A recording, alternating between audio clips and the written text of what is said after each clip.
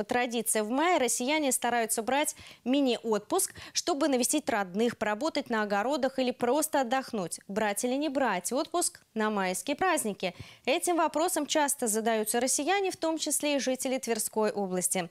Прежде чем писать заявление, предлагаем выслушать аргументы «за» и «против», мнение экспертов, которое выслушал наш корреспондент.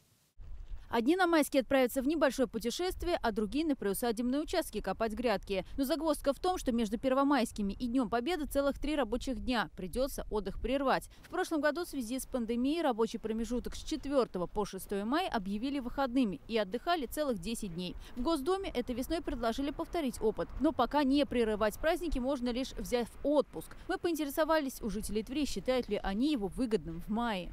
Я считаю, что невыгодно, потому что на майские праздники будут так и так выходные. Иногда зарплаты не хватает на отпуск в мае. Лучше его использовать летом. Если никогда вас больше не отпускают, то, в принципе, вариантов больше нет. Можно и в мае, на, на эти майские выходные. Ну, думаю, выгодно. В любом случае.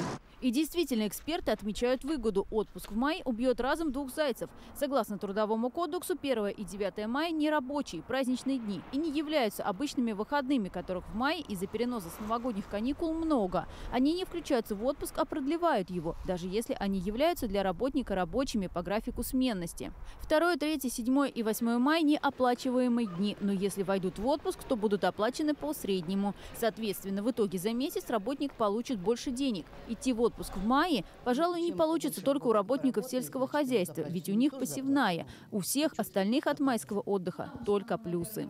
И выгодно взять отпуск на майские праздники с 1 по 10 число, поскольку за 8 дней отпускные начислят и в мае 18 э, рабочих дней за 15 начислят и заработную плату. Выгодно, работник здесь ничего не потеряет. Если же работник пойдет в отпуск с 4 мая, Ему выгодно в днях, а в зарплате он потеряет. В соответствии с частью 3 статьи 112 Трудового кодекса, если в праздничный день выходим на работу, эти дни оплачиваются работодателем в виде дополнительного вознаграждения. Это те, кто трудится на сдельной, повременной, повременно премиальной оплате труда. Зарабатывать же или заниматься присадебными работами – это уже решит каждый сам.